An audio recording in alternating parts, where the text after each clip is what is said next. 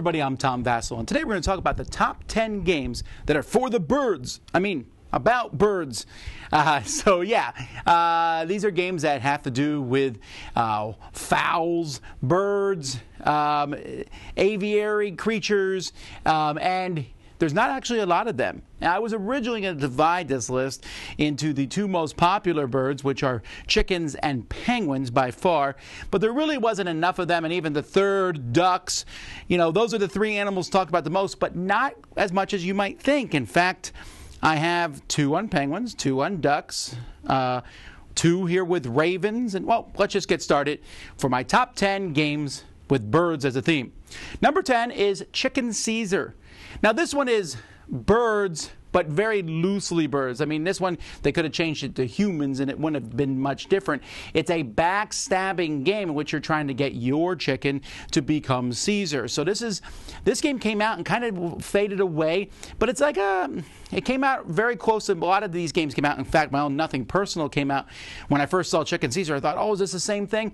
Not quite, but it is a lot of backstabbery trying to get your chicken to become the ruler of them all.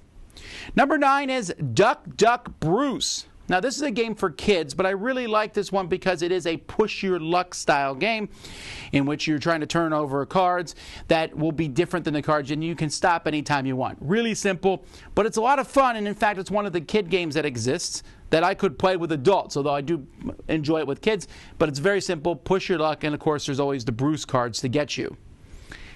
Number eight is many people's highest ranked one, and that would be Hey, That's My Fish, a penguin game in which you're moving penguins on a board. You can move them in a straight line, and then the tile you move off of you take and keep the fish. And you're trying to move them into position to get these fish tiles to cut, you know, you're slowly cutting this area up into islands. It's a really well done game. It's one of the most published by different publisher games in existence. Some of them are better than others quality wise, but I really do enjoy this one. Um, and it's a, it's a very thinky game despite the silly title. Number seven is our first Raven game, and that's Nevermore, quoth the Raven. In this game, it's a card drafting game, and technically, there's not any birds in the game to begin with, but you can transform your opponents into ravens. Um, and of course, they can still win that way, but if you get them all in the ravens, there's some back and forth. Um, it's from Smirk and Dagger, so it's this typical kind of go after your opponent style game. That's Nevermore. Number nine was Duck Duck Bruce. Here we got another one that's called Duck Duck, and that's Duck Duck Go. Now, Duck Duck Go is another kids game, but it's one I think very highly of a programming style game in which you move the ducks around um, based on they're in this bathtub and you're trying to collect things, kind of like Robo Rally, with programmed movement. And they're these little the little rubber ducks that everyone knows about. So it's a lot of fun, and I I kind of wish this one was still in print. Duck Duck Go. Number five is definitely out of print, and I wish this one be picked up, and that's an ostrich themed game, and that is Savannah Tails. Savannah Tails is from the Fragor Brothers or the Lamont brothers, I'm sorry, the Fragor Company. Uh, this is a game in which you're racing ostriches. It's a very simple race game. You play cards. If you match the color lane, you get to move more. There's bonuses and lions and things, and you're just running ostriches around. Very simple game. A lot of people know their very famous game, Snow Tails. Uh, I always thought I liked Savannah Tails a little better. It's definitely simpler, but it is very enjoyable. Number four, Seikatsu. This is a game that works best, in my opinion, with three players, although it's fine with two. And in this one, you're placing groups of birds and or flowers, and things will basically score different depending on where you're sitting around the board. It is an abstract strategy game for sure, but the beautiful flower bird motif does not hurt it. It's quite a good game, Seikatsu. Number three is my second Ravens game. And this is Odin's Ravens. This is a race game where you are one of two Ravens. It's a two player game. Originally was produced in the Kosmos two player line, recently redone by Osprey in a very nice way. Um, but you're just playing cards and you're flipping these landscape cards to try to make your Raven zoom as fast as it can and back. There's a lot of back and forth, and there's more depth in this two player game than you might imagine. And this is another racing game, but it's a two player one, and there's not many of those out there. Odin's Ravens.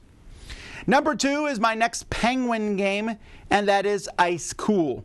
Of course, this one probably not a big surprise, but in this game you're flicking penguins around a school. So you're going to flick the penguins.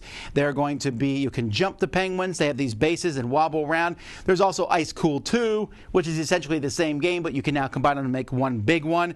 This game, extremely popular. Everyone I play with loves it. It works for kids, it works for adults. It's the kind of game you set up a convention and people come by and play it and play it and play it. Um, lots of fun, ice cool. And then number one, and probably my least surprising number one of any top 10 list ever. And in fact, I put a poll for this on our Facebook group in Dice Tower, and this was number one by a mile, and that's Wingspan. Of course, Wingspan, Elizabeth Hargrave's game from Stonemaier Games last year, just an amazing game. It is on his list the best game. It is the most thematic. It is definitely all about birds. Um, Currently, there was North American birds, but then they added European birds in expansion, and we have more birds coming, Oceania birds coming soon. But just playing the birds, seeing all the facts about the birds, a little engine building game. There's been enough said about this in the past. Go watch my review. There's just just a fantastic game. If you like birds at all, or you know someone who likes birds, this is the game to get them. Those are my favorite 10 games about birds. What are yours? Let me know in the comments. Until next time, I'm Tom Vasel and you've been watching The Dice Tower.